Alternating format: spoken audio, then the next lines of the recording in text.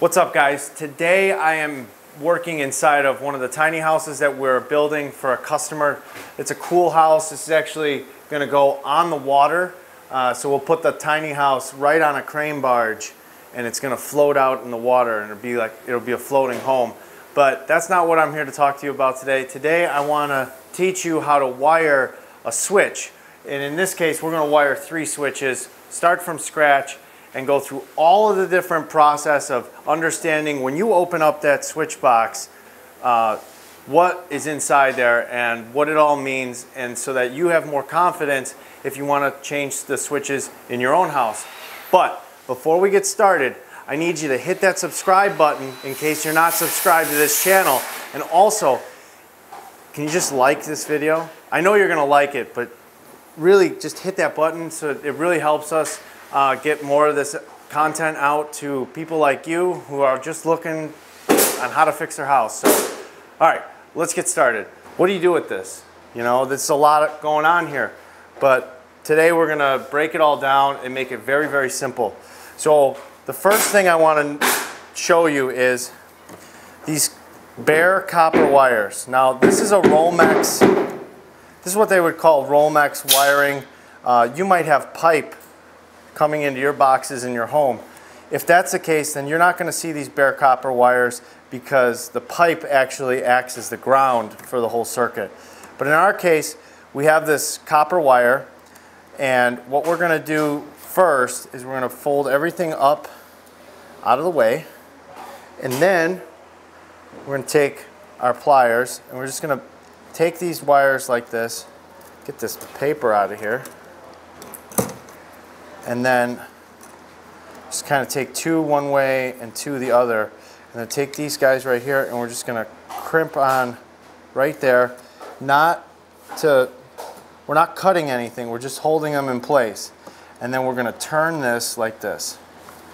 And this is gonna take all those grounds and make them nice and tight so that they're all connected nice and tight together. Now, we have three switches because we got one, two, three spots. So we're only going to need three of these. Now, what I'm going to do is I'm actually going to cut off the three, just like that. I'm going to give this one last twist so it's nice and tight. And then we're going to take this wire and we're going to use it for all three switches. And you'll see what I do in a second. But the first thing I want to do is I'm to take this and I'm going to take my pliers and I'm to push this to the back of the box. And the reason I'm doing that is because I don't want that ground to come back up and bump into our positives or our hot wire and then cause a, a short in the circuit. So now that we've done that with our ground, the next step in this process is we have to get rid of these neutrals. And I don't mean get rid of them like cut them and just not do anything with them, but we have to strip these and then we have to splice them together and those also go to the back of the box. So we're only going to use, for our switches, we're going to use this hot and we're going to use these which are called our switch legs. Now I've gone and identified the switch legs with a loop. So all these are going to be our switches and this is our hot and this is our neutrals. Now before you do anything like this, especially in new construction, you shouldn't have to worry about it because the power should be off. But make sure that the power's off if you're going to be messing around in here. Um, the principles I'm going to teach you today are going to make it so that you don't have to shut the power off because you're going to understand how it all works. If you've never done this before, it's very important that you shut the power off, even if you do understand how this all works. So first thing we're going to do is we're just going to clip all these whites about that far away, and then we're going to take our, our cutters. Now, if you've never stripped wires with just normal lineman's, I'll teach you how to do that right now. So you're going to just take the, the cutting end. Now I've, I've cut live wires and it burnt this part out, which actually acts as a nice place to strip the wires. But we're going to strip from the sharp end. I'm going to show you how to do that. So you're just going to barely touch that insulation until it doesn't move. Take this finger and kind of hook it there. Take your thumb, put it here, and push.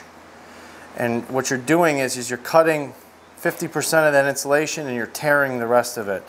And it doesn't take a lot of pressure. Just You just want to make sure that that is gripped on there and then, and then you just push that off like that.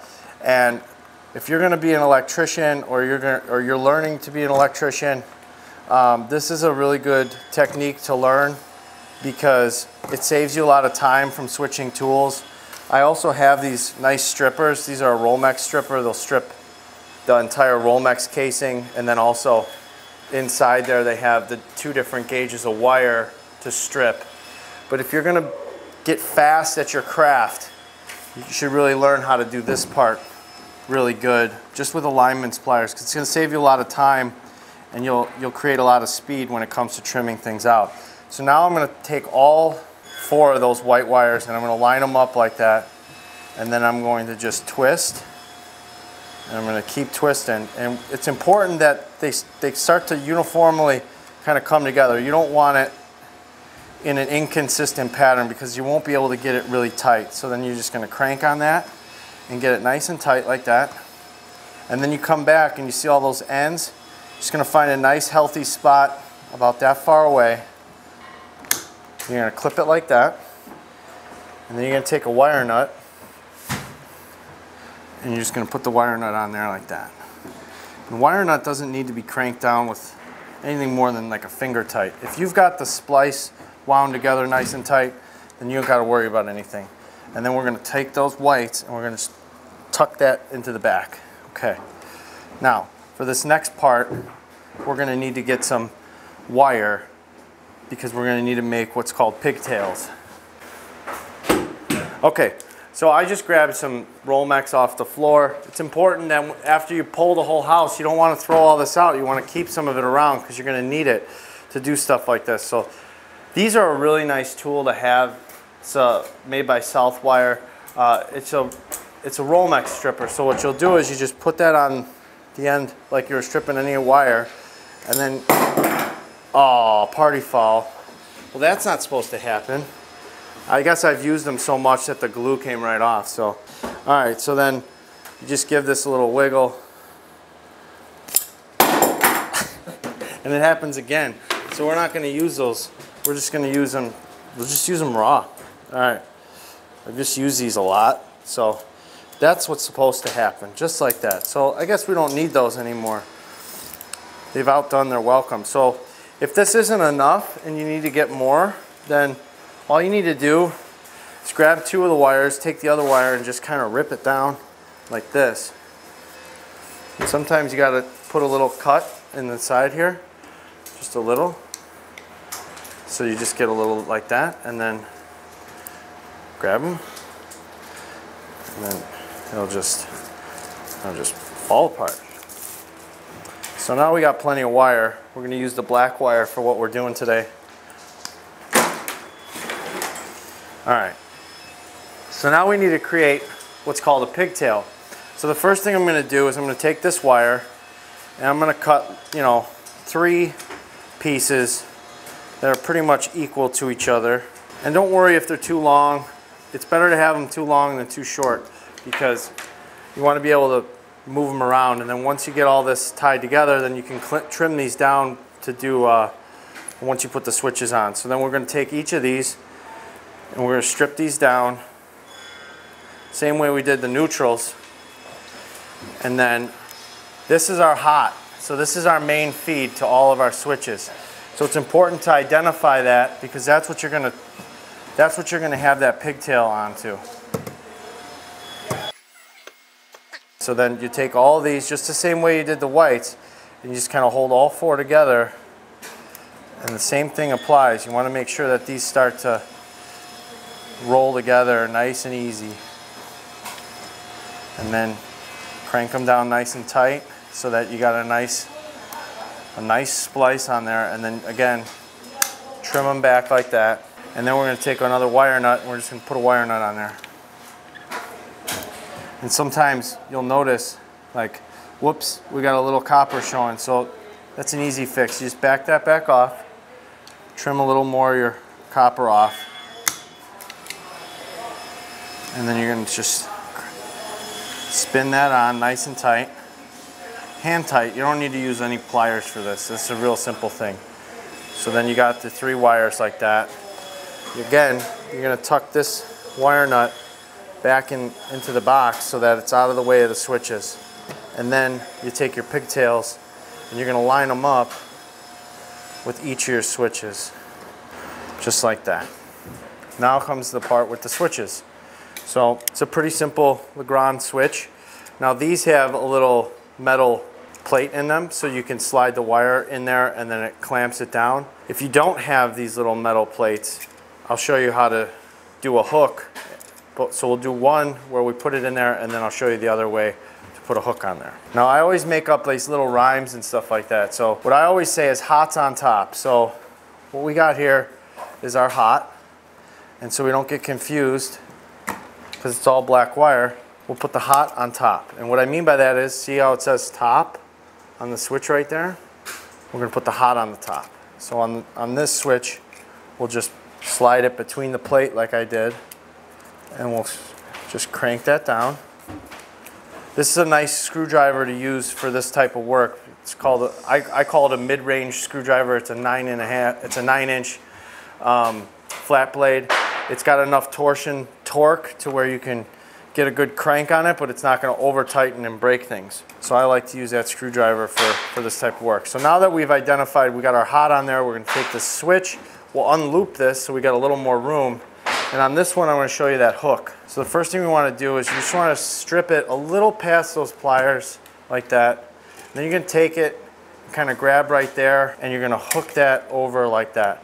Now, the other thing you can do Let's straighten that back out. And I'll show you that mid-range screwdriver.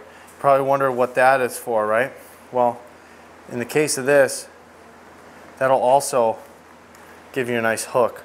The only thing is, is I'm not used to doing it that way. And it was a little, little too much. So we'll, we'll try that again.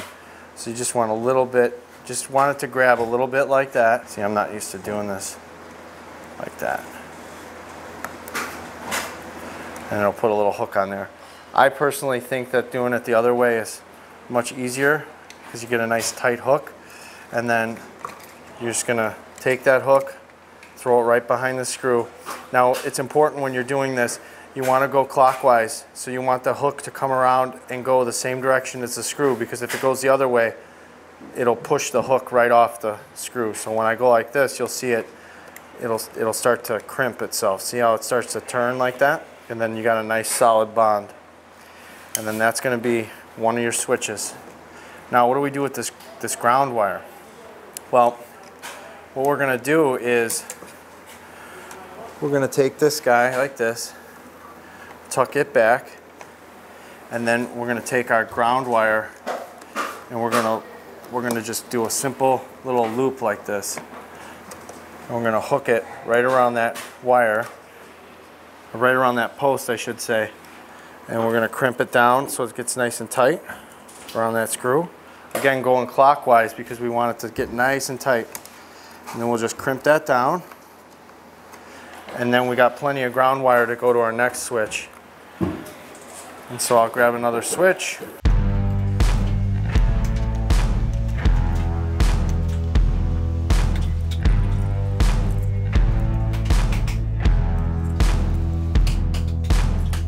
So now we've got our three switches. It's important that after you get done with the switches, it's good practice to tape them.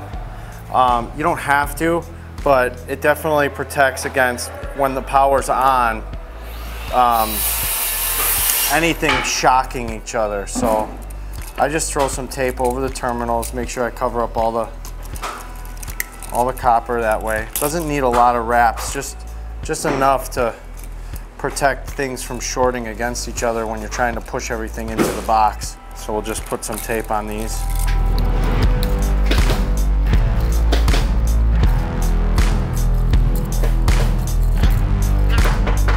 So after you turn the power on, just kind of stand back. No, I should just turn the light on. So that is it. So if you have any questions about this, which I'm sure you do, leave them in the comment section below. Thank you so much for watching this video. And as always, if you haven't subscribed, I hope you will now. And if you are subscribed, turn on those notifications so you'll always know when we upload a new how-to video. And I look forward to answering your questions in the comments below. I'll see you next time.